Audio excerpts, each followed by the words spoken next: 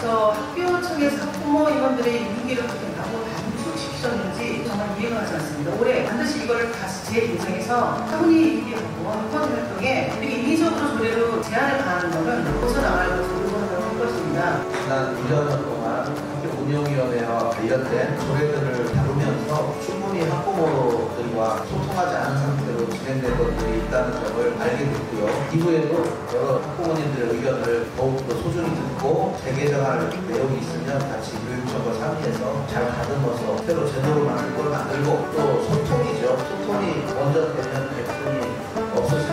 저희 학부모의 임기가 1년 단위로 떨어지고 있기 때문에 학부모회 예산을 편성한 그 학부모 회장하고 다음에 학부모 회장이 최대 2년이면 2년에 한 번씩은 꼭 사과를 하는 거예요. 문제는 파악하지 않고 매년 조례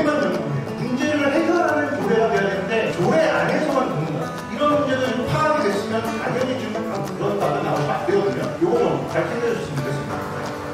오늘 이후로 우리 학교 운영이 학부모님들과 더욱더 충분히 소통하면서 할 수 있는 시간이 되기를 바라면서 이만 학교 자치에서의 학부모 참여 확대 방안 토론회를 마치도록 하겠습니다.